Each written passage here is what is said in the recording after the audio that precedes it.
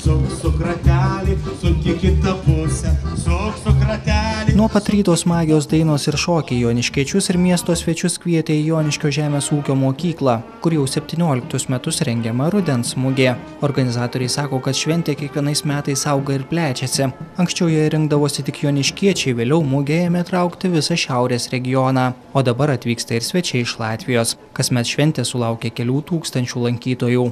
Mūgė dėl to, kad suburtų Latvius, Lietuvius ant sienos, o ant sienos tai yra Joniškio žemės ūkio mokykla.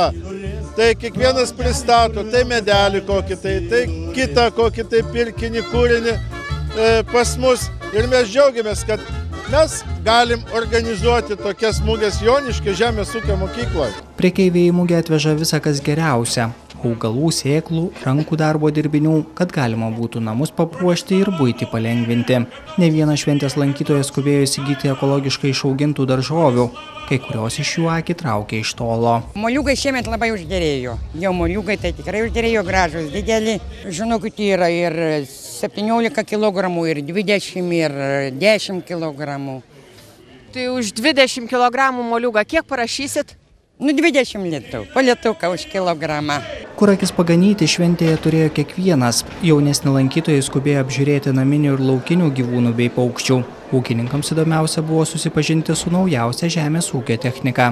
Ūkininkai sako, kiekvienais metais iš mugės grįžtantis netuščiomis.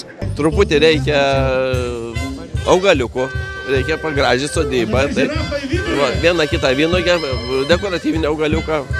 Kiekvienais metais vis kažką nusiperkam naujo. Šventės metu vyko floristinių kilimų kūrimo konkursas. Dalyviai turėjo sudėlioti paveikslą, kurio tema Kristijono Donelaičio metų laikai. Šiemet šventėje išskirtinis dėmesys skirtas gražiausiai besitvarkantiems rajono gyventojams. Komisija atrinko gražiausias sodybas, o jų šeimininkai buvo apdovanoti padėkomis ir dovanomis. Tie, kas šį kartą liko be apdovanojimų, galėjo pradėti ruoštis kitų metų konkursui. Dėl ko dalyvauja šitie mūsų skulptoriai? E, penki patys garsiausi Lietuvos medžio drožėjai.